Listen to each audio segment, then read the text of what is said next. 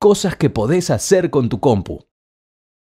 Actualmente en Internet existen muchas herramientas que pueden ayudarnos a planificar viajes de corta y larga distancia a ubicarnos en una ciudad, a comprar pasajes y a organizar las vacaciones. Por ejemplo, si necesitamos desplazarnos en una ciudad, existen mapas interactivos que muestran dónde queda ubicado un local comercial, un hospital, un teatro, una cancha de fútbol, una biblioteca pública o la sucursal de un banco. Incluso hay mapas con los recorridos de las distintas líneas de colectivos. Estos mapas virtuales se pueden consultar en diversos tipos de dispositivos digitales, como ser computadoras de escritorio, netbooks, celulares y tabletas, y pueden ser útiles para ver cómo llegar a un destino o para elegir cuál es la mejor forma de viajar, ya sea en transporte público, en auto o a pie. También existen sitios web con bases de datos que incluyen las direcciones, teléfonos, correos electrónicos y los horarios de atención de todo tipo de instituciones públicas y privadas. Pero si la idea es salir de la ciudad y estamos por planear unas vacaciones o un viaje de larga distancia, también podemos utilizar nuestras computadoras e internet para comprar los pasajes. También se pueden consultar las páginas web de los hoteles, hostels y campings para ver fotografías del lugar, consultar la disponibilidad y los precios o hacer una reserva.